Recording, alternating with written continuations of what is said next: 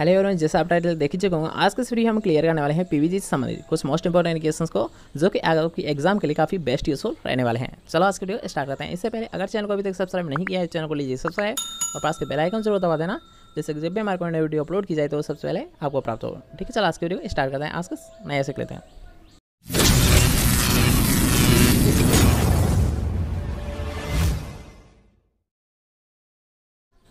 तो आज का हमारा फ़र्स्ट क्वेश्चन है कि एक जीव के आनुवांशिक पदार्थ में अचानक परिवर्तन के कारण उपार्जित विभिन्नता क्या कहलाती है? ठीक है, यहाँ पर आपसे पूछा गया कि एक जीव के, ठीक है, क्वेश्चन को थोड़ा सा दोबारा से समझ लीजिए कि इसमें आपसे पूछा गया यार, एक जीव के आनुवांशिक पदार्थ में अचानक हुए परिवर्तन, ठीक है, अचानक हुए परिवर्तन के कारण जो विभिन्नताएँ आती है, जो विभिन्नताएँ आती है तो उसको किस नाम से है, ये आपसे पूछा गया है। तो पहले आप ऑप्शन देख लीजिए, उसके अकॉर्डिंग राइट आंसर बताइए कि शंकर के नाम से जाना है बायोटाइप के नाम से जाना सा है, उत्परिवर्तन के नाम से जाना है, फिर एल्बिनो के नाम से जाना जाता है, अर्थात यहाँ एक जीव के। आनुवांशिक पदार्थ में अचानक हुए परिवर्तन के कारण जो विभिन्नता आती है तो उन्हें किस नाम से जाना है? जल्दी से बताएँगे राइट आंसर क्या है? संकर होता है बायोटाइप होता है, या फिर उत्परिवर्तन होता है, फिर एल्बिन होता है। जल्दी बताएँगे कि राइट आंसर क्या है। तो यहाँ अगर आप सोचते हैं आनुवांशिक पदार्थ में अचानक हुई परिवर्तन के कारण जो विभिन्नता आती है तो उन्हें बोला है थर्ड ऑप्शन राइट आंसर है म्यूटेशन बोला है, उत्परिवर्तन बोला है। क्या बोला है? यहाँ म्यूटेजन बोला है, उत्परिवर्तन बोला है। और अगर आप सोचते हैं म्यूटेशन वर्ड है, ये किसके द्वारा प्रतिपादित किया गया था, किसके द्वारा दिया गया था तो ये दिया गया था होगो डेब्रिज के द्वारा। सबसे पहले यार हाँ कि अगर बात की उत्परिवर्तन की खोज किसके द्वारा की गई थी तो ये की गई थी यार होगो डेब्रिज के द्वारा। किसके द्वारा की गई थी? होगो डेब्रिज के द्वारा की गई थी। ठीक है नेक्स्ट क्वेश्चन की ओर बढ़ते हैं। तो नेक्स्ट क्वेश्चन आपसे पूछे, अधिकतर कोकोबर्ड्स ठीक है, आपने पढ़ा होगा कोकोबर्ड फैमिली तो कंप्लीट कर ही रखी है आपने। तो यहाँ पर आपसे पूछता है, अधिकतर कोकोबर्ड्स में लिंग रूप क्या होता है? जो सेक्स फॉर्म होता है, उसके बारे में पूछा गया है तो जल्दी सुनाएँगे सेक्स फॉर्म क्या होता है? कोकोबर्ड्स फ़सलों का। हार्मोफाइड होता है मोनोसिस होता है डाइसिस होता है, फिर कोई नहीं, इनमें से कोई नहीं। जल्दी बताएँगे राइट आंसर क्या है? कि कोकोबर्ड सामान्यता है, उनकी सेक्स फॉर्म क्या होती है? हार्मोफ्राइड्स होते हैं मोनोसियस होते हैं डाइसिस होते हैं, फिर इनमें से कोई नहीं। जल्दी बताएँगे कि राइट आंसर क्या है। तो आपने कई बार पढ़ लिया होगा, अगर बात किया हाँ कोकोबिट्स तो क्या होता है, इनके सेक्स फॉर्म होता है, ये होते हैं मोनोसियस क्या, किस प्रकार के प्लांट होते हैं यहाँ कोकोबिट्स, ये होते हैं मोनोसियस ओके नेक्स्ट क्वेश्चन की ओर बढ़ते हैं। तो नेक्स्ट क्वेश्चन यार, एक मोस्ट इंपॉर्टेंट क्वेश्चन है कि आपसे पूछा गया एफ़ वन जनरेशन ठीक है? एफ़ वन जो पी प्राप्त होती है, उसी के बारे में यहाँ पर आपसे डिस्कस किया गया है कि एफ़ वन शंकर की जनकोष से एफ़ वन शंकर के जनकों से अधिक श्रेष्ठ होना क्या कहलाता है? अर्थात इस क्वेश्चन को आप ऐसे समझ लीजिए कि मान लीजिए कोई भी ए हमारा जनक है ए बी जनक है, ठीक है? इनसे क्या प्राप्त हो रहा है? सी हमारा जो एक हाइब्रिड है एफ़ वन जनरेशन है। तो यहाँ इस का ठीक है? ये जो संतति आपकी प्राप्त हो रही है, जो प्रोजिनी आपकी प्राप्त हो रही है तो इसका, इन दोनों जनकों से श्रेष्ठ होना, ठीक है? क्वेश्चन को थोड़ा सा ध्यान समझना। इसमें पूछा गया है कि इन दोनों से, जनकों से सी का श्रेष्ठ होना, अर्थात इसके गुण अच्छे हैं इन दोनों की बजाय। जनक से दोनों से अच्छे गुण किसके हैं? सी के हैं। तो यही आपसे पूछा गया है तो इसको किस नाम से नाश्ता है? इस क्रिया को किस नाम से नाश्ता है, जिससे क्या होता है कि जनकों से श्रेष्ठ गुण किसमें होते हैं? संतति में होते हैं। तो उसको किस नाम से नाश्ता है? प्रभाविता के नाम से जाना है शंकर ओज के नाम से जाना है क्रॉसिंग ओवर के नाम से जाना है इनमें से कोई नहीं। कि जल्दी से बताएँगे कि राइट आंसर क्या है प्रभाविता, शंकर ओज क्रॉसिंग ओवर या फिर कोई नहीं। तो जैसा कि हमने अभी बताया थे यहाँ अगर बात किया ए बी से जो संतति प्राप्त हो रही है तो संतति अगर मान लीजिए इन दोनों से श्रेष्ठ होती है तो उसे बोला है शंकर ओज ठीक है, इसे हेटोलिसिस बोला है। किस नाम से आना है? हेटोलिसिस या फिर शंकर ओज के नाम से आना है। किस नाम से आना है? हेटोलिसिस या फिर शंकर ओज के नाम से आना है। ओके नेक्स्ट क्वेश्चन बढ़ते हैं। तो नेक्स्ट क्वेश्चन आप सोचा है, इनमें संकरण के लिए पुष्प का अर्थात इमास्कुलेशन आवश्यक होता है। अर्थात कौन से ऐसे फ़सलें होते हैं, कौन से ऐसे प्लांट होते हैं जिनमें यहाँ इमास्कुलेशन जो संकरण मान लीजिए हाइब्रिडाइजेशन ठीक है? आपको हाइब्रिडाइजेशन करना है, उसके लिए आपसे पूछा गया कि इमास्कुलेशन किसका करना चाहिए? मेल स्टेलाइट प्लांट का किया जाना चाहिए सेल्फ पोलिनेटेड प्लांट का किया जाना सेल्फ इनकम्प्लीट किया जाता है, फिर टायोसिस प्लांट का करना चाहिए। अर्थात किस प्लांट का?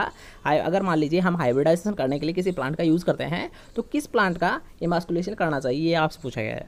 तो पहले आप ऑप्शन से देख लीजिए, उसके अकॉर्डिंग राइट आंसर बताइए कि मेल स्टेलाइल प्लांट का सेल्फ पोलिनेटेड प्लांट का सेल्फ इनकम्प्लीट प्लांट का या फिर डायसिस प्लांट का। जल्दी बताएँगे कि राइट आंसर क्या है। यहाँ अगर को बात की जाए कौन सा, ठीक है? तो राइट आंसर कौन सा है? जिसने अभी कमेंट किया है सेकंड तो उसका राइट आंसर क्योंकि अगर बात की सेल्फ पोनेटेड क्रॉप अब क्योंकि ऐसा है? इसका इमास्कुलेशन आपको पता हुआ इमास्कुलेशन यार है, इसमें सेल्फ पोनेशन को रोकने के लिए कैसा है। क्योंकि ऐसा यार है, इनमें जो सेल्फ पोनेशन होता है सेल्फ पोनेटेड क्रॉप है मतलब इन दोनों में क्या होते हैं? एक ही फ्लोर में क्या होता है? दोनों ऑर्गन्स होते हैं मेल एंड फीमेल दोनों क्या करते हैं? आपस में मिलकर क्या होता है? सेल्फ पोनेशन कर लेते हैं। अतः सेल्फ पोनेटेड क्रॉप होती है। तो इनको रोकने के लिए, जो सेल्फ पोनेशन होता है तो इसी को रोकने के लिए क्या करते हैं? इमास्कुलेशन करते हैं। और इमास्कुलेशन में करते क्या है? हमने पहले भी आपको बताया था, क्या करते हैं? यार इसमें नर, जो मेल ऑर्गन्स होते हैं, उनको हटा दिया जाता है, उनको रिमूव कर दिया जाता है। ठीक है? मेल ऑर्गन्स होते हैं तो उनको हटा दिया जाता है, उनको रिमूव कर दिया जाता है। और इसी क्रिया को किस नाम से जाना है? विफलन या विपुंसन के नाम से जाना जाता है। Okay question clear next question को बढ़ते हैं।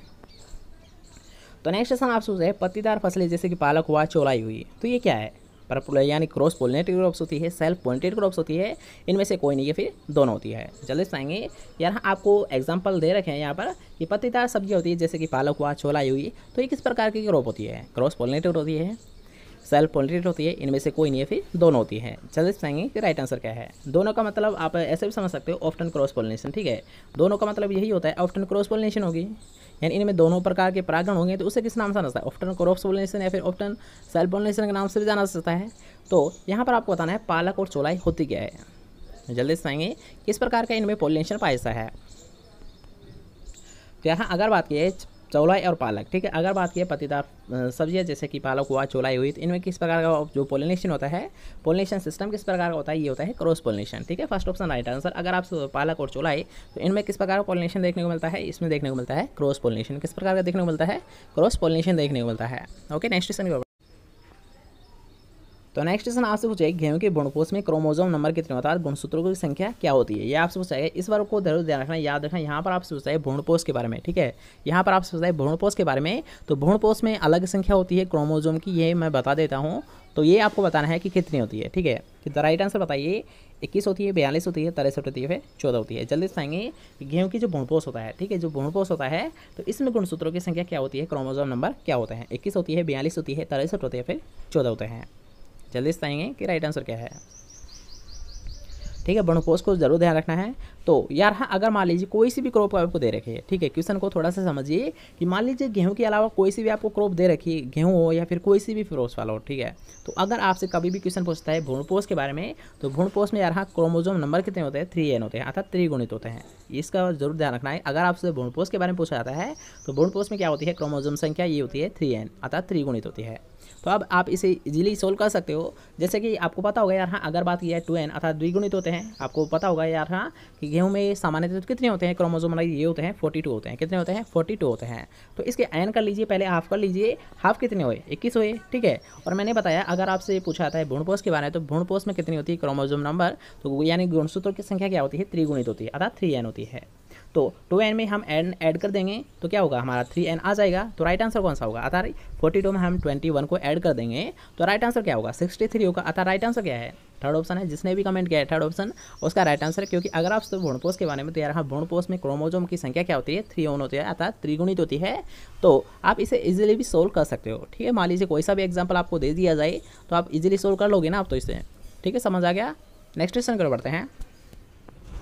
तो नेक्स्ट क्वेश्चन आप जाए कोशिका द्रव्य नर्वमता किन फ़सलों में देखने को मिलती है? ठीक है, जो साइटोप्लाज्मिक मेल स्टेलिटी होती है, ये किन फ़सलों में देखने को मिलती है? वगैरह परागित फ़सलों में, परपरागित फ़सलों में वेजिटेटिवली जो परपरागित जो होती है, फ़सलें उनमें या फिर इनमें से सभी? जल्दी से राइट आंसर क्या है? कि जो साइटोप्लाज्मिक मेल स्टेलिटी है, ये किस प्रकार की फ़सलों में देखने को मिलती है? जल्दी से आएँगे कि राइट आंसर क्या है? तो राइट आंसर यहाँ थर्ड ऑप्शन है, ठीक है? जिसने भी वेजिटेटिव जिसमें प्रोपोजिशन होता है तो उनमें यहाँ साइटोप्लाज्म मेल स्टेलिटी देखने को मिलती है, ठीक है? साइटोप्लाज्म मेल स्टेलिटी किसमें देखने को मिलती है? जिनमें वेजिटेटिव प्रोपोजिशन की क्रिया होती है। ओके नेक्स्ट क्वेश्चन जो बढ़ते हैं। तो नेक्स्ट क्वेश्चन आपसे पूछा है एक, ठीक है? क्वेश्चन को थोड़ा सा ध्यान समझना। यहाँ पर आपसे पूछा है, एक इनब्रेड लाइन का ओपन पोलिनेटेड वेराइटी के साथ क्रॉस करना क्या कहलाता है? दोबारा से समझ लीजिए। यहाँ पर आप सोचते हैं, एक इनब्रेड लाइन का ओपन प्लेनेटेड जो वेराइटी होती है, उसके साथ संकरण क्या कहलाता है? बैक क्रॉस कहलाता है टॉप क्रॉस कहलाता है थ्री वे क्रॉस कहलाता है, फिर डबल क्रॉस कहलाता है। ठीक है क्वेश्चन को थोड़ा सा ध्यान समझिए, उसके अकॉर्डिंग राइट आंसर बताइए।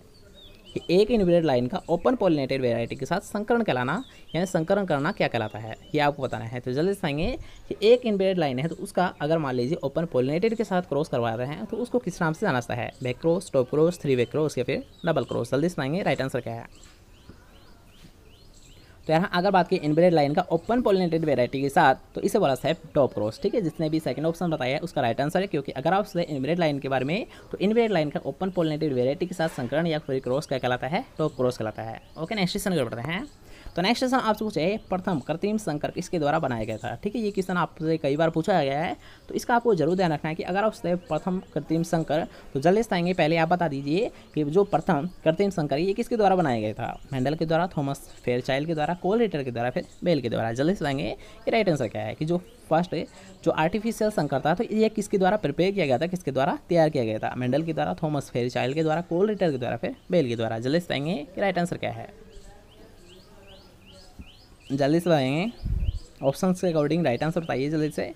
कि प्रथम जो आर्टिफिशियल जो शंकर था, ये किसके द्वारा प्रिपेयर किया गया था, किसके द्वारा तैयार किया गया था? जल्दी से पाएँगे राइट आंसर क्या है। तो यहाँ अगर बात किया प्रथम कृत्रिम शंकर, ठीक है, जिसने अभी सेकंड ऑप्शन बताया है। उसका राइट आंसर है। वैसे कॉमन क्वेश्चन है, सभी ने राइट आंसर दिया होगा। तो यहाँ अगर बात किया कृत्रिम संकर तो यहाँ जो फ़र्स्ट आर्टिफिशियल जो संकर था, ये किसके द्वारा तैयार किया गया था? ये किया गया था थॉमस फेयर चार्ल्ड के द्वारा। किसके द्वारा किया गया था? थॉमस फेयर चार्ल्ड के द्वारा किया गया था। ओके नेक्स्ट क्वेश्चन की बढ़ते हैं। तो नेक्स्ट क्वेश्चन आपसे है डबल क्रॉस प्लान किसके द्वारा दिया गया था? ठीक है डबल क्रॉस जो टेक्निक है डबल क्रॉस प्लान्स है तो ये किसके द्वारा दिया गया था? बेल के द्वारा सल के द्वारा जोन्स के द्वारा, फिर नाइट के द्वारा। जल्दी सुनाएँगे कि राइट आंसर क्या है कि डबल क्रॉस प्लान्स किसके द्वारा दिया गया था? बेल के द्वारा, सल के द्वारा, जोन्स के द्वारा, फिर नाइट के द्वारा। जल्दी सुनाएँगे तो डायरेक्ट आप ध्यान रख लीजिए, अगर आप सोचा डबल क्रॉस प्लान्स के बारे में तो ये दिया गया था जोन्स के द्वारा। किसके द्वारा दिया गया था? जोन्स के द्वारा दिया गया था। ठीक है नेक्स्ट क्वेश्चन की ओर हैं। तो नेक्स्ट क्वेश्चन में एक अच्छा क्वेश्चन है, जल्दी से आएँगे। वैज्ञानिक आधार पर सिस्टेमिक संक्रमण का कार्य किस वैज्ञानिक ने, के साथ शुरू हुआ था? ठीक है, यानी जो सिस्टेमिक संकरण है, ठीक है, इस वर्ड का आपको ज़रूर ध्यान था कि अगर आप आपसे सिस्टेमिक संकरण तो सिस्टेमिक संकरण का कार्य किस वैज्ञानिक ने यानी किस वैज्ञानिक के साथ हुआ था? ये आपसे पूछा गया किस साथ, यानी सिस्टमिक जो संकरण है, ये पद्धति कब से लागू हुई थी? किसके साथ हुई थी? सेल मक्का के साथ हुई थी, पटेल कपास के साथ हुई थी, कोलोटर निकोटिया से संबंधित होती है, नाइट फल के साथ हुई थी। जल्दी से कि कौन सा वैज्ञानिक है जिसने यहाँ सिस्टेमिक संकरण की शुरुआत की थी? सेल ने, पटेल ने, कोलरेटर ने या फिर नाइट ने? जल्दी से राइट आंसर क्या है? ए बी सी या फिर डी जल्दी से कौन सा ऐसा वैज्ञानिक है जिसने शुरुआत की थी सिस्टेमिक संकरण की? सेल पटेल कोलिटर या फिर नाइट। तो इसका राइट आंसर है थर्ड ऑप्शन ठीक है? अगर बात की सिस्टमिक संकरण तो इसकी शुरुआत की गई थी कोलरेटर के द्वारा निकोटियाना, जो होता है फ़सल अपनी तो उसी में, ठीक है? तंबाकू होती है तो इसमें इसने सबसे पहले हाइब्रिडाइजेशन किया था। तो उसी से यहाँ पर, उसी से स्टार्टअप माना जाता है, क्योंकि अगर आपसे किस वैज्ञानिक के द्वारा तो किसके द्वारा किया गया था कोल रूटर के द्वारा, और किस फ़सल से किया गया था? निकोटियाना से किया गया था, ओके? क्वेश्चन क्रिया हुआ? नेक्स्ट क्वेश्चन की बढ़ते हैं। तो नेक्स्ट क्वेश्चन आपसे पूछा है इकोलाई में वर्ताकार। ठीक है क्वेश्चन को थोड़ा सा ध्यान समझिए कि इकोलाई में वर्ताकार गुणसूत्र का विचार किसने दिया था? वर्ताकार गुणसूत्र का विचार किसने दिया था? करेंस ने मैसेलेंस ने वाटसन या फिर स्टोल ने? जल्दी से पाएँगे कि राइट आंसर क्या है। ए बी सी या फिर डी जल्दी से पाएँगे इकोलाई ने वर्ताकार गुणसूत्र है तो इसका विचार किसके द्वारा दिया गया था? किसके द्वारा प्रतिपादित किया गया था? करेंस के द्वारा मैसेल्सन के द्वारा, वाटसन के द्वारा फिर स्टॉल के द्वारा? तो इसे भी हम डायरेक्ट कर लेते हैं। अगर आपसे वर्ताकार गुण सूत्र तो ये विचार दिया गया था करेंस के द्वारा। कौन सा है? राइट आंसर फ़र्स्ट ऑप्शन ठीक है नेक्स्ट क्वेश्चन की बढ़ते हैं। तो नेक्स्ट क्वेश्चन आपसे पूछेगा एक मोस्ट इंपॉर्टेंट क्वेश्चन है। कई बार आपसे एग्ज़ाम में पूछा भी गया है कि पौधे में लिंग का निर्धारण किया था। अर्थात यहाँ लिंग के बारे में पूछा गया है, जो सेक्स फॉर्म होती है, लिंग का निर्धारण ये सबसे पहले किसके द्वारा किया गया था? ये आपको बताना है तो जल्दी बताएँगे। ग्रीव के द्वारा कैमरेज के द्वारा टिफेर चाइल्ड के द्वारा या फिर लीनियस के द्वारा? जल्दी बताएँगे कि पौधे में जो सेक्स है, ठीक है जो सेक्स फॉर्म है या फिर जो लिंक का निर्धारण है, ये कि इसके द्वारा किया गया था? सबसे पहले ये आपको बताना है। ग्रेव के द्वारा कैमरेज के द्वारा थॉमस फेयर चाइल्ड के द्वारा या फिर लीनियस के द्वारा? जल्दी बताएँगे कि राइट आंसर क्या है। कि सबसे पहले लिंक की खोज किसने की थी? पौधों में। तो यहाँ अगर बात करें लिंग यहाँ जो सेक्स फॉर्म है तो इसकी सबसे पहले जो शुरुआत की गई थी, ये की गई थी कैरमेरियस के द्वारा। किसके द्वारा की थी? राइट आंसर कौन सा है सेकंड ऑप्शन अगर आपसे कुछ ज़्यादा लिंग की खोज किसने की थी? तो यहाँ पौधों में जो लिंग की खोज है, ये की गई थी कैमरेस के द्वारा। किसके द्वारा की गई थी? कैमरेस के द्वारा की गई थी। ठीक है? नेक्स्ट क्वेश्चन की बात करते हैं। तो नेक्स्ट क्वेश्चन आपसे पूछा है, किसने किसने कुत्तों में कृत्रिम गर्भाधान आर्टिफिशियल जो इंसेमिनेशन होता है, मान लीजिए कि आर्टिफिशियल इंसेमिनेशन या फिर कृत्रिम गर्भाधान से पिल्ला पैदा करने का तरीका खोजा। ठीक है? किसान को दोबारा से पढ़ लीजिए। कि कुत्तों में कृत्रिम गर्भाधान से पिल्ला पैदा करने का, अर्थात बच्चे तैयार करने का जो मेथड था, जो आर्टिफिशियल मेथड था तो इसकी शुरुआत किसके द्वारा की गई थी? डिग्राफ के द्वारा, हार्टविंग के द्वारा, इस बार लेंजनी के द्वारा, फिर टेंडल के द्वारा। जल्दी बताएँगे कि राइट आंसर क्या है कि कुत्तों में सबसे पहले आर्टिफिशियल जो इंसेमिनेशन है तो ये मेथड सबसे पहले किसके द्वारा प्रिपेयर किया गया था? किसके द्वारा तैयार किया गया था? डिग्राफ के द्वारा, हार्टविंग के द्वारा, इस बार लेंजनी के द्वारा, फिर टेंडल के द्वारा। जल्दी बताएँगे राइट आंसर क्या है? तो यहाँ अगर बात किया आर्टिफिशियल इंसेमिनेशन या फिर कृत्रिम गर्भाधान की सबसे पहले खोज किसने की थी? कुत्तों में तो ये की गई थी इस पाल इंजनी के द्वारा। कौन सा है राइट आंसर थर्ड ऑप्शन क्योंकि अगर बात किया है फ़र्स्ट तो ये किया गया था यार हाँ इस पाल इंजनी के द्वारा। ओके नेक्स्ट क्वेश्चन को बढ़ते हैं। तो नेक्स्ट क्वेश्चन आप सोचते हैं, अनुजननवाद। ठीक है, अनुजननवाद जिसे एपीजेनेसिस बोला जाता है एपीजेनेसिस ठीक है तो ये एपीजेनेसिस जो धारणा है, ये किसके द्वारा दी गई थी? ये आपको बताना है। तो जल्दी से आएँगे एपीजेनेसिस की क्रिया या फिर जो धारणा होती है तो ये किसके द्वारा दी गई थी? अरस्तु के द्वारा, बोनेट के द्वारा, वोल्फ के द्वारा, फिर डार्विन के द्वारा। जल्दी से आएँगे कि राइट आंसर क्या है। कि अनुजनवाद अर्थात एपीजेनेसिस की क्रिया है, ये किसके द्वारा दी गई थी? वोल्फ के द्वारा, बोनेट के द्वारा, अरस्तु के द्वारा, फिर डार्विन के द्वारा। जल्दी से आएँगे राइट आंसर क्या है? तो यहाँ अगर बात की एपिजेनेसिस की क्रिया तो एपिजेनेसिस की क्रिया किसके द्वारा दी गई थी? ये दी गई थी वोल्फ के द्वारा, जो कि क्या थे? एक जर्मन साइंटिस्ट थे। क्या थी? एक जर्मन साइंटिस्ट थे, जिसी के द्वारा यहाँ एपिजेनेसिस की क्रिया दी गई थी। ओके नेक्स्ट क्वेश्चन क्या रहे हैं। तो नेक्स्ट क्वेश्चन आपसे पूछा गया है कि origin of species origin of species कब प्रकाशित हुई थी? इसके बारे में हमने कल ही सोल्व किया था इस क्वेश्चन को कि ओरिजिन स्पीसीज जो पुस्तक थी तो इसको कब प्रकाशन में लाया गया था? जल्दी से ओरिजिन ऑफ़ स्पीसीज नामक जो पुस्तक है, इसको कब प्रकाशित किया गया था? कब प्रकाशन में लाया गया था? सत्रह सौ उनसठ में, अठारह सौ उनसठ में, उन्नीस सौ उनसठ में, फिर दो हज़ार उनसठ में। जल्दी से आएँगे कि राइट आंसर क्या है? दो हज़ार उनसठ तो आई ही नहीं है तो ये तो आपका हो ही नहीं सकता, ठीक है? एक सौ ऑप्शन तो आपका गलत हुआ। तो यहाँ पर आपको बताना है ओरिजिन ऑफ़ की यानी इसकी शुरुआत कब की गई थी, इसको कब प्रकाशित किया गया, कब पब्लिश किया गया था? सत्रह सौ उनसठ में, अठारह सौ उनसठ में, उन्नीस सौ उनसठ में, फिर इनमें से कोई नहीं, ठीक है? फोर्थ ऑप्शन आप डायरेक्ट मान लीजिए, इनमें से कोई नहीं। तो जल्दी से बताएँगे राइट आंसर क्या होगा? ए बी सी या फिर डी जल्दी से बताएँगे ए बी सी या फिर डी जल्दी से बताएँगे तो यहाँ अगर बात की ओरिजिन ऑफ़ हिस्सिस तो इसकी शुरुआत की गई थी, जिसने भी सेकंड कमेंट किया है, उसका राइट आंसर है, कब की गई थी? अठारह सौ उनसठ में, ठीक है? इसका जो पब्लिश किया गया था, इसको ये किया गया था, अठारह सौ उनसठ में। कब पब्लिश किया गया था यहाँ ओरिजिन ऑफ़ हिस्सिस नामक पुस्तक को।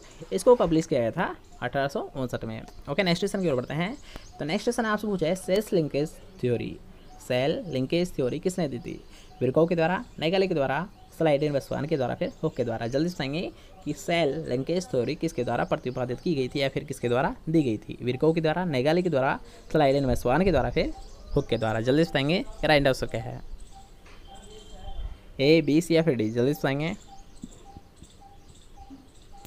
तो यार हाँ अगर बात करें सेल लिंकेज थ्योरी की तो सेल लिंकेज थ्योरी किसके द्वारा दी गई थी? ये दी गई थी विरको के द्वारा। किसके द्वारा दी गई थी? विरको के द्वारा दी गई थी। ओके नेक्स्ट क्वेश्चन की ओर बढ़ते हैं। तो नेक्स्ट क्वेश्चन आपसे पूछा गया है कि गुणसूत्र किस अवस्था में संद्रित होते हैं? सांद्रित होते हैं। ये संद्रित नहीं, बल्कि सांद्रित होते हैं अगर कंडक्टेड होते हैं। ठीक है? जो कंडक्शन होता है, जो कंडक्टेड होते हैं ये गुणसूत्र तो ये किस अवस्था में होते हैं? किस फ़ेज़ में होते हैं? प्रोफेज में होते हैं मेटाफेज में होते हैं एनाफेज में होते हैं, फिर टेलोफेज में होते हैं। जल्दी बताएँगे कि ये कंडक्ट किस अवस्था में होते हैं। गुणसूत्र किस अवस्था में कंडक्ट होते हैं? फिर सांद्रित होते हैं प्रोफेज में मेटाफेज में एनाफेज में, फिर टीलोफेज में। जल्दी बताएँगे राइट आंसर क्या है? कि गुणसूत्र किस अवस्था में सांतरित हो जाता है? प्रोफेज में, मेटाफेज में, एनाफेज में, फिर टीलोफेज में। जल्दी से पाएँगे राइट आंसर क्या है? तो यहाँ अगर बात की सांद्रित अवस्था तो सांद्रित अवस्था कौन सी होती है? इसकी होती है एनाफेज, ठीक है? कौन सी अवस्था में सांद्रित हो जाते हैं? गुणसूत्र ये हो जाते हैं एनाफेज में। राइट आंसर कौन सा है? थर्ड ऑप्शन नेक्स्ट क्वेश्चन की ओर बढ़ते हैं। तो नेक्स्ट क्वेश्चन आपसे होता है, किस प्रावस्था में डीएनए का संश्लेषण हो जाता है? अर्थात सिंथेसिस हो जाता है। ये आपसे पूछा गया है, ठीक है? डीएनए का संश्लेषण किसमें होता है? जी फ़र्स्ट अवस्था में होता है, जी टू अवस्था में होता है, ऐसा अवस्था में होता है, फिर इनमें से कोई नहीं। जल्दी बताएँगे कि डीएनए का संश्लेषण किस अवस्था में होता है, किस फ़ेज़ में होता है? जी फ़र्स्ट में होता है, जी टू में होता है एस में होता है, फिर इनमें से कोई नहीं। जल्दी बताएँगे कि राइट आंसर क्या है। ठीक है, नाम से इस पर है संश्लेषण। तो आपको इजीली पता होगा इसका कॉमन क्वेश्चन है कि डीएनए का संश्लेषण। संश्लेषण मतलब सिंथेसिस और सिंथेसिस आप कैसे याद रखोगे? अर्थात यार हाँ किस प्रावस्था में होता है इसका संश्लेषण? ये होता है एस प्रावस्था में। किसमें होता है? किस फ़ेज़ में होता है? ये होता है एस प्रावस्था में। ठीक है? नेक्स्ट क्वेश्चन को बढ़ते हैं। तो नेक्स्ट क्वेश्चन आपसे पूछा गया है डीएनए द्विकुंडल में। इसको भी थोड़ा सा ध्यान समझना। यहाँ पर आपसे है जो डीएनए होता है, इसमें दुई कुंडल में जी ए किसके बराबर होता है? ठीक है, यहाँ पर आपको दो नाइट्रोजन इशारक दे रखे हैं कि जी ए किसके बराबर होते हैं, ये आपसे पूछा गया है। ठीक है तो आपको बताना है सी टी के बराबर होता है टी ए के बराबर होता है सी ए के बराबर होता है, फिर सी जी के बराबर होता है। जल्दी से आएँगे कि राइट आंसर क्या है। तो ये क्या होते हैं? जी आपको पता होगा नाइट्रोजन सारा होते हैं। तो ये होते क्या है? ग्वानिन और एडिनिन होते हैं। क्या होते हैं? ग्वानिन और एडिनिन होते हैं। तो ये किसके बराबर होते हैं? ये आपसे पूछा गया है। तो जल्दी से पाएँगे साइटोसिन और थाइमिन के द्वारा होते हैं। साइटोसिन और थाइमिन के बराबर होते हैं। थाइमिन और एडेनिन के बराबर होते हैं। साइटोसिन, एडेनिन के बराबर होते हैं या फिर साइटोसिन, ग्वानिन के बराबर होते हैं। जल्दी से कि यहाँ जो ग्वानिन है और जो एडेनिन है, ये किसके बराबर होते हैं? जल्दी से आएँगे कि राइट आंसर क्या है? तो यहाँ अगर बात कीजिए, ठीक है? अगर बात जी तो ये किसके बराबर होता है? ये होते हैं सिटी के बराबर। किसके होते हैं? साइटोसिल और थाइमेन के बराबर होते हैं। किसके बराबर होते हैं? साइटोसिल और थाइमेन के बराबर होते हैं। ओके नेक्स्ट क्वेश्चन को बढ़ते हैं। तो नेक्स्ट क्वेश्चन आपसे पूछा डी एन ए कुंडल के सिंगल टर्न सिंगल टर्न में सार्कों की संख्या क्या होती है? ठीक है, जो सिंगल टर्न लेता है, आपने पढ़ा होगा, दो हेलिक्स होते हैं इसके, दो हेलिक्स होते हैं, ठीक है, द्विकुंडल होता है मतलब द्विहोलिक्स मॉडल होता है। तो यहाँ पर आप सोचते हैं जब डीएनए का कुंडल होता है तो इसके सिंगल टर्म है ठीक है, एकल घुमाव में सार्कों की संख्या कितनी होती है? या पूछा गया तो जल्दी से पाएँगे सार्कों की संख्या क्या होती है सिंगल टर्म में? पाँच, सात, दस या फिर बारह? जल्दी से पाएँगे सिंगल टर्म में सार्कों की संख्या क्या होती है? पाँच, सात, दस या फिर बारह? पाँच, सात, दस या बारह? तो यहाँ अगर बात किया सिंगल टर्न में तो कितनी होती है दस होती है कितनी होती है दस होती है नेक्स्ट क्वेश्चन में बढ़ते हैं तो नेक्स्ट क्वेश्चन आपसे पूछा है डीएनए का कौन सा यार हाँ इसके जो फॉर्म होते हैं उसी के बारे में यहाँ पर आपसे क्वेश्चन पूछा गया है तो दोबारा से देख लीजिए क्वेश्चन को कि डीएनए का कौन सा रूप सामान्यतः जीव में पाया है सामान्यतः है ठीक है सबसे ज़्यादा कौन सा पाया है कौन सा फॉर्म पाया है कि ए रूप आयसा है जेड रूप आयसा है सी रूप आयसा फिर पी रूप आयसा है अर्थात कौन सा पायसा है कौन सा डीएनए पायसा है कौन सा डीएनए का रूप आयसा है सबसे ज़्यादा जीवों में ए डीएनए होता है जेड डीएनए होता है सी डीएनए होता है फिर बी डीएनए होता है जल्दी से आएँगे कि सबसे ज़्यादा कौन सा डीएनए पायसा है A DNA Z DNA C DNA फिर बी डीएनए जल्दी से आएँगे राइट आंसर क्या है तो यहाँ अगर बात की सबसे ज़्यादा फिर सामान्य है तो यहाँ सामान्य अवस्था में ये पाया है बी रूप कौन सा होता है यहाँ अगर बात की सबसे ज़्यादा तो जो रूप होता है डीएनए का जो फॉर्म होता है वो कौन सा होता है बी फॉर्म होता है ठीक है सबसे ज़्यादा जो डीएनए होता है ये किस फॉर्म में होता है बी फॉर्म होता है इसलिए राइट आंसर कौन सा है फोर्थ ऑप्शन। ठीक है नेक्स्ट क्वेश्चन में बढ़ते हैं। तो नेक्स्ट क्वेश्चन आपसे पूछा गया कि डीएनए पॉलीमरेज प्रथम, ठीक है डीएनए पॉलीमरेज प्रथम किसके द्वारा खोजा गया था? डीएनए पॉलीमरेज जो प्रथम है, जो एंजाइम होता है एक तो इसकी खोज की सबसे प्रथम किस तरह के द्वारा की गई थी? डीएनए पॉलीमरेज एंजाइम होता है तो इसकी शुरुआत सबसे पहले किसके द्वारा की गई थी? हार्स के द्वारा?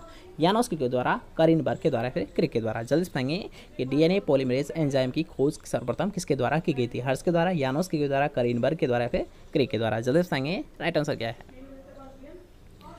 ठीक है, यहाँ पर आपसे है पॉलीमरेज एंजाइम के बारे में तो थोड़ा सा ध्यान समझ देना और फिर क्वेश्चन को सोल्व करना। तो यहाँ पर आप सोचते हैं डीएनए पॉलीमरेज एंजाइम के बारे में, ठीक है? तो डीएनए पॉलीमरेज एंजाइम की जो शुरुआत की गई थी, इसको सबसे पहले खोजा गया था, ये खोजा गया था करीन बर्ग के द्वारा। किसके द्वारा खोजा गया था? करीन बर्ग के द्वारा खोजा गया था। किसके द्वारा खोजा गया था? करीन बर्ग के द्वारा खोजा गया था। ठीक है नेक्स्ट क्वेश्चन बढ़ते हैं। तो नेक्स्ट क्वेश्चन में भी आपसे यहाँ पर यही क्वेश्चन पूछा गया कि बैक्टीरिया में डीएनए रेप्लिकेशन एंजाइम होता है। बैक्टीरिया में डीएनए रेप्लिकेशन एंजाइम है। ठीक है, यहाँ पर आपसे पूछा है रेप्लिकेशन एंजाइम के बारे में तो जल्दी से आएँगे रेप्लिकेशन एंजाइम कौन सा होता है? डीएनए पॉलीमरेज फ़र्स्ट होता है डीएनए पॉलीमरेज सेकंड होता है डीएनए पॉलीमरेज थर्ड होता है, फिर इनमें से कोई नहीं। जल्दी से आएँगे कि बैक्टीरिया में डीएनए रेप्लिकेशन एंजाइम कौन सा होता है? डीएनए पॉलीमरेज फ़र्स्ट होता है डीएनए पॉलीमरेज सेकंड होता है डीएनए पॉलीमरेज थर्ड होता है, फिर इनमें से कोई नहीं। जल्दी से आएँगे कि रेप्लिकेशन एंजाइम कौन सा होता है बैक्टीरिया में। राइट आंसर कौन सा है जल्दी बताएँगे तो जिसने भी थर्ड ऑप्शन दिया है, उसका राइट आंसर क्योंकि अगर आप दिया रहा बैक्टीरिया तो बैक्टीरिया में रेप्लिकेशन एंजाइम कौन सा होता है? डीएनए पॉलीमरेज थर्ड होता है। कौन सा होता है? डीएनए पॉलीमरेज थर्ड होता है बैक्टीरिया में। ओके नेक्स्ट क्वेश्चन की ओर बढ़ते हैं। तो नेक्स्ट क्वेश्चन आपसे हो जाए रेप्लिकेशन के द्वारा। रेप्लिकेशन या फिर रेप्लिकेशन के दौरान डीएनए को सिंगल स्टैंड बनाने का कौन कार्य करता है? ठीक है सिंगल स्टैंड यहाँ पर आपसे पूछा गया है सिंगल स्टैंड के बारे में तो जल्दी से आएँगे सिंगल स्ट्रेड डीएनए बना रहे ये कार्य किसके द्वारा कैसा है लाइगेज के द्वारा कैसा है हेलिकेज के द्वारा कैसा है टोपो आइसोमरेज एंजाइम के द्वारा कैसा है सिंगल स्टैंड बाइंडिंग प्रोटीन के द्वारा कैसा है जल्दी से आएँगे कि रेप्लीकेशन या फिर रेप्लीकेशन के द्वारा जो डीएनए होता है तो इसको सिंगल स्टैंड बनाने का कार्य किसके द्वारा कैसा है लाइगेज एंजाइम के द्वारा कैसा है हेलिकेज के द्वारा कैसा है टोपो आइसोमरेज के द्वारा कैसा है फिर सिंगल स्टैंड बाइंडिंग प्रोटीन के द्वारा कैसा है जल्दी से आएँगे ये राइट आंसर क्या है कि सिंगल स्टैंड बनाने का कार्य किसके द्वारा किया जाता है? जल्दी से पाएँगे राइट आंसर क्या है? तो यहाँ अगर बात है रिप्लीकेशन के दौरान, ठीक है, जो सबसे पहले तो आपको ये पता होना चाहिए लाइगेज तो लाइगेज यहाँ जोड़ने का कार्य करता है, ठीक है लाइगेज का कार्य क्या होता है? जोड़ने का होता है। क्या होता है? लाइगेज का कार्य होता है ऐड करने का था जोड़ने का कार्य होता है। और अगर बात किया रहा सिंगल स्टैंड बनाने का कार्य तो सिंगल स्टैंड बनाने का कार्य कैसा है? सिंगल स्टैंड बाइंडिंग प्रोटीन के नाम से, ठीक है, ये कौन करता है? ये जो सिंगल स्टैंड है बाइंडिंग जो प्रोटीन होती है, यही यार हाँ सिंगल स्टैंड को बनाए रखने का काम करती है, ठीक है। अगर आप लाइगेज तो लाइगेज तो क्या होता है यार इसका कार्य होता है लाइगेज का कार्य होता है जोड़ना, अर्थात गोंद की तरह कार्य करता है, जोड़ने का कार्य करता है। और अगर बात किया रहा सिंगल स्टैंड बाइंडिंग प्रोटीन की तो ये क्या करता है सिंगल स्टैंड को बनाए रखने का कार्य करता है। अर्थात वो दोबारा से कुंडलित नहीं हो, इस क्रिया को रोकने का कार्य करता है। दोबारा से वो कुंडलित नहीं हो, अर्थात सिंगल स्टैंड वो बना रहे, इसका कार्य किसके द्वारा कैसा है, ये कैसा है सिंगल स्टैंड बाइंडिंग प्रोटीन के द्वारा कैसा है। ओके क्वेश्चन समझ आ गया। नेक्स्ट क्वेश्चन को बढ़ते हैं। उससे पहले अगर आपको वीडियो पसंद आ रही तो वीडियो कर दीजिए एक लाइक इस वीडियो का दीजिए अपने दोस्तों के साथ शेयर और चैनल को अभी तक सब्सक्राइब नहीं किया है चैनल को लीजिए सब्सक्राइब ठीक है नेक्स्ट क्वेश्चन को बढ़ते हैं। तो नेक्स्ट क्वेश्चन आपसे है डीएनए की किस दिशा में? ठीक है, यहाँ पर आपको एक वर्ड दे रखा है, इसको थोड़ा सा ध्यान समझना है कि डीएनए की किस दिशा में संश्लेषण से ओकाजाकी फ्रेगमेंट होता है। ठीक है, यहाँ पर आपको दे रखा है ओकाजाकी, आपको बताना है, ओकाजाकी फ्रेगमेंट बनते हैं। फाइव प्राइम ठीक है, ये ऑप्शन इसको क्या बोलते हैं? इस जो डोटा है, इसको बोलता है प्राइम के नाम से आना है। इसका नाम क्या होता है यार? प्राइम किस नाम से जाना जाता है? प्राइम के नाम से बोला जाता है और ये क्या होती है? दिशा को प्रदर्शित करती है, ठीक है? तो इसे कैसे आप पढ़ोगे? फाइव प्राइम से थ्री प्राइम ठीक है? इसे दिशा को कैलकुलेट करने के लिए यूज़ किया जाता है ये साइन तो यहाँ पर आपसे है कि डीएनए की किस दिशा में संश्लेषण से ओकाजा की फ्रेगमेंट बनते हैं। फाइव प्राइम से थ्री प्राइम की ओर थ्री प्राइम से फाइव प्राइम की ओर, इन दोनों की ओर या फिर इनमें से कोई नहीं है, ठीक है? यहाँ पर आपको साइन दे रखा है वो क्या है? प्राइम होता है। और ये किसको दर्शाता है? यानी दिशा को दर्शाता है, ठीक है? तो अब बताइए कि डीएनए की किस दिशा में संश्लेषण से ओकाजा के फ्रेगमेंट बनता है? फाइव प्राइम से थ्री प्राइम की ओर बनता है थ्री प्राइम से फाइव प्राइम की बनता है, या फिर इन दोनों में, या फिर इनमें से कोई नहीं? जल्दी से आएँगे ये राइट आंसर क्या है? जल्दी से आएँगे तो यहाँ अगर बात करें ओकाजा की तो ये बनता है यहाँ फाइव प्राइम से थ्री प्राइम की ओर। कौन सी दिशा में बनता है? फाइव प्राइम से थ्री प्राइम की ओर। Okay next question next question आपसे पूछेगा डीएनए कण का अधिकतम अवशोषण किस वेवलेंथ पर होता है ठीक है यहाँ पर आप सोचते हैं अधिकतम अवशोषण किस वेवलेंथ पर होता है तो जल्दी से पाएँगे डीएनए का सबसे ज़्यादा जो ऑब्जॉर्प्शन होता है एब्जॉर्प्शन होता है अर्थात अवशोषण होता है ये किस वेवलेंथ पर होता है 260 पर होता है 280 पर होता है 600 पर होता है फिर 630 पर होता है जल्दी से पाएँगे राइट आंसर क्या है तो यहाँ अगर बात किए कौन सा तो यहाँ ये होता है 260 पर ठीक है इसे डायरेक्ट क्लियर कर लेते हैं अगर आप डी डीएनए का अधिकतम अवशोषण तो किस वेवलेंथ पर होता है ये होता है 260 पर कब होता है यहाँ कितने पर होता है 260 वेवलेंथ पर होता है ओके नेक्स्ट क्वेश्चन और होता है तो नेक्स्ट क्वेश्चन आपसे है न्यूक्लियोलस किसके उत्पादन में मुख्य निभाता है? मुख्य भूमिका निभाता है अर्थात मुख्य रोल किसमें निभाता है? ये आपसे पूछा गया है। किसके बारे में पूछा गया न्यूक्लियोलस के बारे में पूछा गया ठीक है न्यूक्लियोलस किसके उत्पादन में मुख्य रोल निभाता है? ये आपसे पूछा है। आर एन ए के टी आर एन ए के एम आर एन ए के, फिर ऑल ऑफ़ दी जल्दी पाएँगे राइट आंसर क्या है? कि न्यूक्लियोलस किसके उत्पादन में मुख्य रोल निभाता है? मुख्य भूमिका निभाता है। R R N A T R N A M R N A फिर ऑल ऑफ़ दिस जल्दी पाएँगे राइट आंसर क्या है? तो यहाँ अगर बात करें न्यूक्लियोलस किसके उत्पादन में तो ये निभाता है आर में, ठीक है? राइबोसोम जो आर होता है तो इसी में निभाता है कौन सा है right answer first option next question को बढ़ते हैं। तो नेक्स्ट क्वेश्चन आपसे पूछे, पौधे में ड्रोट टॉलरेंस से संबंधित महत्वपूर्ण अमल होता है, ठीक है? मोस्ट इंपॉर्टेंट क्वेश्चन है तो जल्दी से इस वर्ड को ज़रूर ध्यान रखना, आपको बताना है कि जल्दी से रहेंगे कि पौधे में ड्रोट टॉलरेंस से संबंधित महत्वपूर्ण अम्ल कौन सा होता है, ठीक है? इस वर्ड को ज़रूर ध्यान रखना कि ड्रोट टॉलरेंस संबंध में पूछा गया है। तो जल्दी से रहेंगे कि पौधे में ड्रोट टॉलरेंस से संबंधित महत्वपूर्ण अम्ल कौन सा होता है? ग्लूटेमिक होता है प्रोलिन होता है ग्लाइसिन होता है, फिर हाइड्रोक्सी प्रोलिन होता है। जल्दी से रहेंगे कि क्या है? कि पौधे में ड्रोट टॉलरेंस से संबंधित कौन सा एंजाइम होता है, अर्थात कौन सा अम्ल होता है? ग्लूटिक अम्ल होता है प्रोलिन होता है क्लाइसिन होता है फिर हाइड्रोक्सी प्लोलिन होता है। जल्दी से आएँगे राइट आंसर क्या है? ए बी सी एफ़ रेडी जल्दी से आएँगे ए बी सी आर तो यहाँ अगर बात की पौधे में ड्रोट टॉलरेंस तो ये होता है प्रोलिन होता है, ठीक है? मोस्ट इंपॉर्टेंट क्वेश्चन अगर आपसे पौधे में ड्रोट टॉलरेंस से संबंधित अम्ल तो कौन सा होता है? प्रोलिन अम्ल होता है। कौन सा होता है? प्रोलिन होता है। ओके नेक्स्ट क्वेश्चन बढ़ता है। तो नेक्स्ट क्वेश्चन आपसे होता है कोशिका झिल्ली कोशिका झिल्ली के संश्लेषण में रोधक है, अर्थात इनिबिटर कार्य किसके द्वारा कैसा है? ठीक है, रोधक मतलब इनिबिटर तो जल्दी से कि कोशिका झिल्ली के जो निर्माण होता है तो इसको कार्य को रोकने का कार्य किसके द्वारा किया जाता है? अर्थात इनिबिटर का कार्य किसके द्वारा किया जाता है? पोलीमैक्सिन के द्वारा कैसा है? ओग्जामेसिन व रिस्टो केटिन के द्वारा कैसा है? वेनोमैक्सिन के द्वारा कैसा है? फिर इन सभी के द्वारा कैसा है? जल्दी पाएँगे राइट आंसर क्या है कि कोशिका जल्दी के संश्लेषण में इनिबिटर का कार्य किसके द्वारा कैसा है? पोलीमैक्सिन के द्वारा ओग्जामेसिन व रिस्टोकेटिन के द्वारा या फिर वेनोमेसिन के द्वारा? फिर इन सभी के द्वारा। जल्दी पाएँगे राइट आंसर क्या है? तो यहाँ अगर बात किया जाए इनका, जो इनिवेटर कार्य कैसा है, ये सभी के द्वारा कैसा है? ठीक है, जिसने भी कमेंट किया है फोर्थ तो राइट आंसर कौन सा है? फोर्थ ऑप्शन ठीक है नेक्स्ट क्वेश्चन और बढ़ता है। नेक्स्ट क्वेश्चन आपसे पूछा गया है कि एम आर एन ए संश्लेषण रोधक है, अर्थात जो मैसेंजर आर एन होता है तो इसका जो संश्लेषण होता है, इसमें भी इनहिबिटर का कार्य किसके द्वारा किया जाता है, ये आपसे बताना है, ठीक है? तो जल्दी से आपको बताना है कि मैसेंजर आर एन होता है तो इसका संश्लेषण किसके द्वारा रोका जाता है, अर्थात इसमें इनहिबिटर का कार्य किसके द्वारा किया जाता है? एक्टिनोमेसिन डी के द्वारा कैसा है रिफेम पिसिन फाइव ब्रोमोड यू सीरीज़ के द्वारा किया है, फिर इन देने इन सभी के द्वारा किया है। अर्थात ऑल ऑफ़ दिस किया है। जल्दी से कि राइट आंसर क्या है। मैसेंजर आर होता है तो इसके संश्लेषण को इसका निर्माण को किसके द्वारा रोको जाता है? अर्थात इनिबिटर का कार्य किसके द्वारा किया जाता है?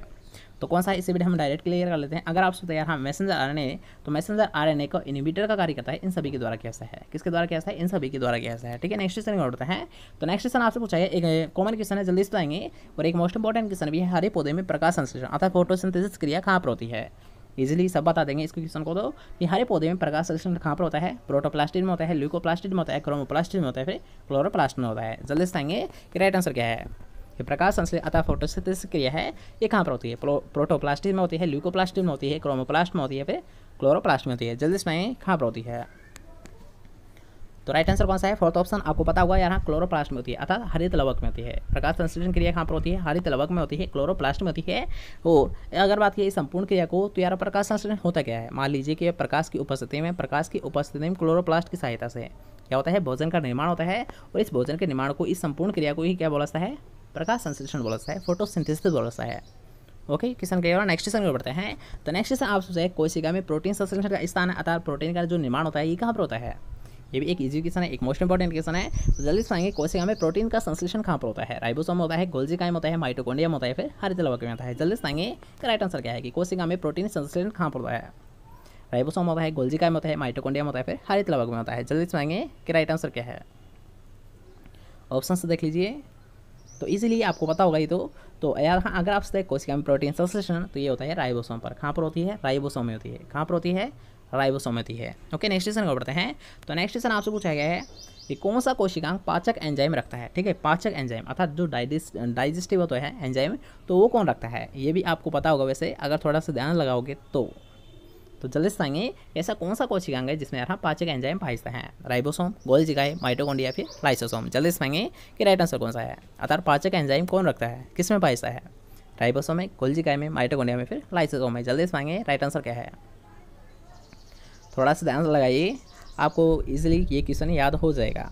थोड़ा सा ध्यान लगाओ, कौन सा होगा इसका राइट आंसर तो यहाँ अगर बात की पाचक एंजाइम तो किसमें बाजता हैं? लाइसोसोम में बाजते हैं। जिससे क्या होता है, यहाँ इसमें पाचक एंजाइम पाजते हैं, तभी तो इसे आत्मघाती थैली बोला जाता है। ठीक है? इसे सुसाइडल बॉडी क्यों बोला जाता है? क्योंकि इसमें क्या होता है? पाचक एंजाइम होते हैं। ठीक है? इसमें पाचक एंजाइम होते हैं, जिससे क्या होता है खुद को भी कहा जाता है। कभी कभी याद रहा ऐसी स्थिति आती है, जिससे क्या होता है, आत्मघाती थैली क्यों बोला जाता है? इसे सुसाइडल बॉडी इसीलिए बोला जाता है, क्योंकि यहाँ अगर कभी भी कुछ भी प्रॉब्लम हो जाती है लाइसेंसों में तो ये खुद की जो सेल होती है, उनको भी खा जाता है, उनको भी हटा देता है, उनको भी नष्ट कर देता है। इसलिए यहाँ इसे बोला जाता है आत्मघाती थैली सुसाइडल बॉडी के नाम से जाना जाता है।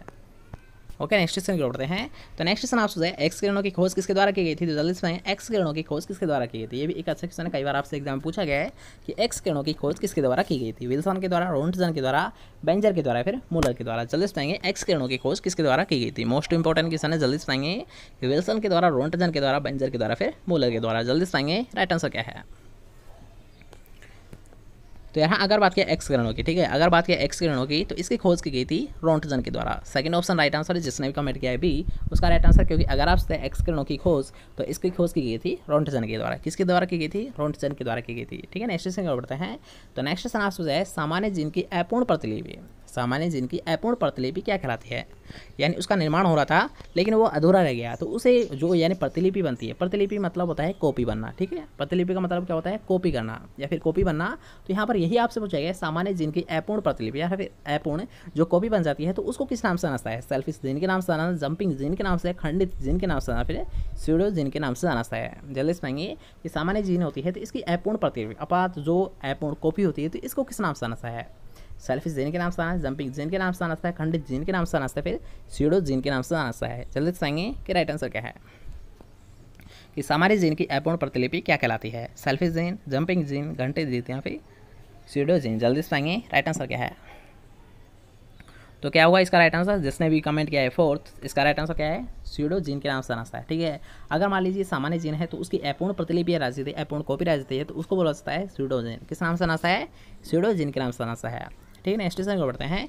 यहाँ पर आपको कुछ टर्म दे रखे, कुछ वर्ड दे रखे हैं। उसके बारे में बताना है। रिकॉन म्यूटोन और सिस्टोन रिकॉन म्यूटोन और सिस्टोन शब्द किसके द्वारा दी गई थी? रिकॉन म्यूटोन और सिस्टोन किसके दिया गया। तो यार हाँ अगर बात की रिकॉन म्यूटोन और सिस्टोन तो ये दिया जाता है वेंजर के द्वारा। किसके द्वारा दिया गया था? ये दिया गया था बेंजर के द्वारा। किसके द्वारा दिया गया था? राइट आंसर कौन सा है? Third option okay? अगर बात की रिकॉन, म्यूटन और सिस्टोन की तो ये तीनों शब्द किसके द्वारा गए थे? बेंजर के द्वारा गए थे, ठीक है नेक्स्ट क्वेश्चन क्या बढ़ते हैं। तो नेक्स्ट क्वेश्चन आपसे पूछा है कौन सा प्रसारण स्थिर है, ठीक है? स्टेबल कौन सा है? प्रसारण ये आपसे पूछा गया एडिटिव होता है डोमिनेंस होता है एपी स्टेटिक होता है फिर इनमें से सभी। जल्दी से आएँगे कि राइट आंसर क्या है। कि कौन सा प्रसारण स्थिर होता है? एडिटिव होता है डोमिनेंस होता है एपी स्टेटिक होता है फिर ये सभी होते हैं। जल्दी से आएँगे राइट आंसर क्या है। तो इसे भी हम डायरेक्ट क्लियर कर लेते हैं। अगर आपसे प्रसारण कौन सा स्थिर होता है तो कौन सा होता है एडिटिव होता है, कौन सा होता है एडिटिव होता है। ओके नेक्स्ट क्वेश्चन और बढ़ता है। तो नेक्स्ट क्वेश्चन आपसे साइब्रेड कहलाता है तो ये क्वेश्चन भी हमने पहले ही सोल्व कर लिया है। तो जल्दी से आएँगे साइब्रेड होता क्या है? साइब्रेड किसे बोलाता है? सोमेटिक संकर को बोलाता है, युग्मक संकर को बोलाता है, इन दोनों को बोलाता है, फिर इनमें से कोई नहीं। जल्दी से आएँगे कि साइब्रेड होता क्या है। सोमेटिक संकर को बोलाता है, युग्मक संकर को बोलाता है उपयुक्त दोनों को बोलाता है, फिर इनमें से कोई नहीं। जल्दी से आएँगे कि राइट आंसर क्या है? जल्दी से साइब्रिड होता क्या है? सोमेटिक संकर होता है, युगमक संकर होता है, ये दोनों होता है फिर इनमें से कोई नहीं। तो कौन सा होता है? अगर बात किया साइब्रिड तो साइब्रिड किसे बोला है? ये बोला है सोमेटिक संकर को ही बोला है, ठीक है? फ़र्स्ट ऑप्शन राइट आंसर है कि सोमेटिक संकर को ही किस नाम से जाना है? साइब्रिड के नाम से जाना है, ठीक है? सोमेटिक संकर को ही किस नाम से जाना है? साइब्रेड के नाम से जाना सा है। नेक्स्ट क्वेश्चन बढ़ते हैं, जो कि आज का हमारा लास्ट क्वेश्चन रहने वाला है कि कवक की कोशिका भित्ति बनी होती है। कवकों की कोशिका भित्ति बनी होती है। ये किसकी बनी होती है? सेलुलोज की बनी होती है काइटिन की बनी होती है पेक्टिन की बनी होती है, फिर प्रोटीन व लिपिड से मिलकर बनी होती है। जल्दी से कि कवकों की कोशिका भित्ति किससे मिलकर बनी होती है? सेलुलोज से काइटिन से पैक्टिन से या फिर प्रोटीन व लिपिड से? जल्दी बताएँगे कि राइट आंसर क्या है कि काउको की कोशिका पत्ती किससे मिलकर बनी होती है? तो यहाँ अगर बात की कवकों की कोशिका बेचती तो ये मिलकर बनी है प्रोटीन सॉरी काइटिन से बनकर होती है। कौन सा है? राइट आंसर जिसने भी कमेंट किया है। सेकंड ऑप्शन यहाँ अगर बात किया है कवक की प्रोटीन यहाँ कवक की जो कोशिका बेचती है, ये किससे मिलकर बनती है? काइटिन से मिलकर बनती है। किससे मिलकर बनती होती है? काइटिन से। राइट यार कवक काइटिन कैसे याद रखोगे? कवक काइटिन कैसे याद रखोगे? कवक काइटिन ओके क्वेश्चन क्लियर हुआ? अगर आपसे कवक की कोशिका तो ये मिलकर बनी होती है काइटिन से। ठीक है क्वेश्चन क्लियर आज के लिए बस नहीं कैसा लगा, आज वीडियो कमेंट करके ज़रूर बताइए। अगर आपको वीडियो पसंद आए तो वीडियो कर दीजिए एक लाइक इस वीडियो कर दीजिए अपने दोस्तों के साथ ज़्यादा से ज़्यादा शेयर और चैनल को अभी तक सब्सक्राइब नहीं किया है चैनल को लीजिए। सब्सक्राइब मिलता है नेक्स्ट वन ऑफ़ जब तक चाहिए ज़बरदस्त बाय बाय टेक केयर